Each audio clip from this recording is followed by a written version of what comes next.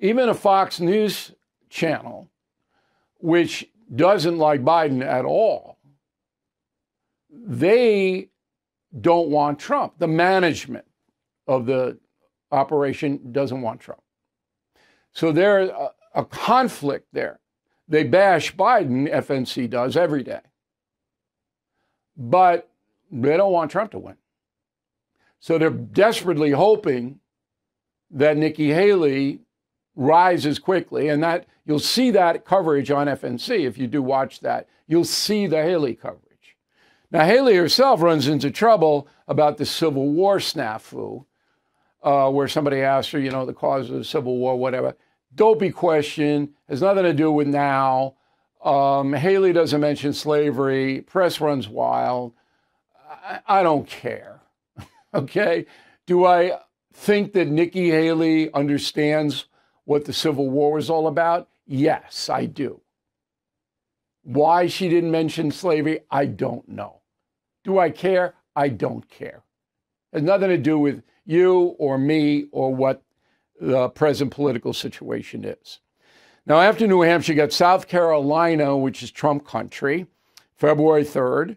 Nevada, anything could happen in Nevada on February 6th. Michigan, February 27th. Michigan's a big vote, but Trump's strong. He's running strong among Republicans in Michigan, working class people. Super Tuesday, March 5th. All right, and then it's over. So the primary season is over March 6th.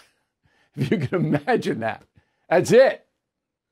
Um, so, summing up, uh, we're going to have the best, most honest election coverage. I have told you that President Biden is the worst president in modern American history. Buchanan is the worst of all time, but there's been nobody as bad as Joe Biden has been.